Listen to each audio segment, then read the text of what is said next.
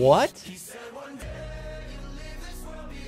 First owner tradable Dino. No way. Bro's got 370k and a 4.3 million coin card sitting in his club. Bro, do you sell that though? Do you sell that right now? I, I think you have to use him, at least for like a weekend league or something. I think, honestly, that's a once in a lifetime pack pull, bro. You gotta use it a couple times, right? I know that if you play a game with it, it's no longer gonna be fresh, right? And you maybe could get a few more coins for it being fresh, but golly, that's a once in a lifetime pull, bro. I when I packed R9, I well, he was untradeable. That doesn't count. Just kidding. Value isn't going anywhere. Gotta use him. Use the loan. That's sick.